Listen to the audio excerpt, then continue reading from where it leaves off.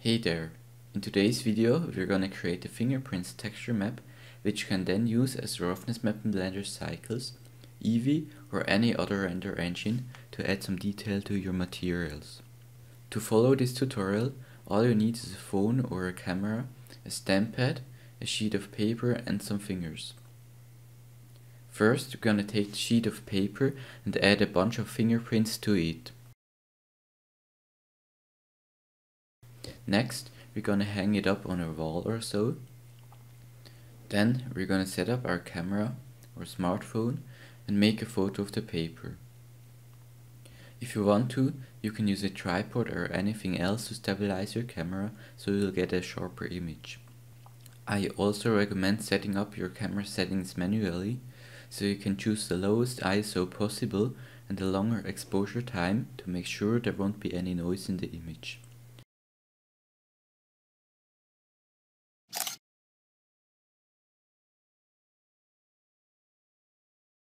After we shot the image, we're gonna import it to an image editing software. You can either use Affinity Photo, Krita, Photoshop or GIMP, it doesn't really matter. I'm gonna use GIMP in this tutorial because it is free. So first, we need to crop out the square selection of the image, which you can do using the crop tool. To make it perfectly square, we're gonna enable fixed aspect ratio and choose an aspect ratio of 1 by 1.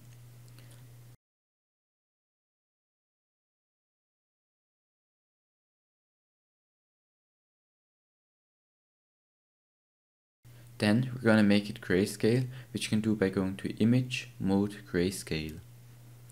Now if we would use this image as a roughness map in 3D software, the fingerprints would be less rough, which means they'd have sharper reflections, and the surrounding areas would be more rough, which means they'd have smoother reflections. It obviously should be the other way around, so we need to invert the image, which you can do by going to Colors, Invert.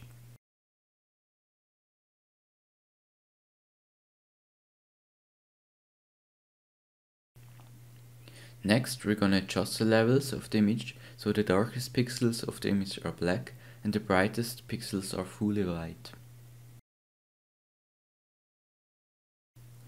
Then, in order to make the texture map tileable, we're gonna add the make seamless filter, which you can do under filters, map, make seamless.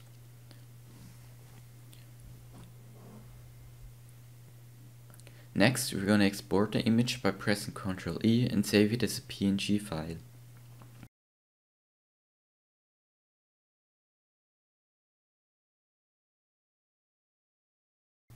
Once you exported it, you can use it as a roughness map in Blender, for instance for a gloss or a metallic shader.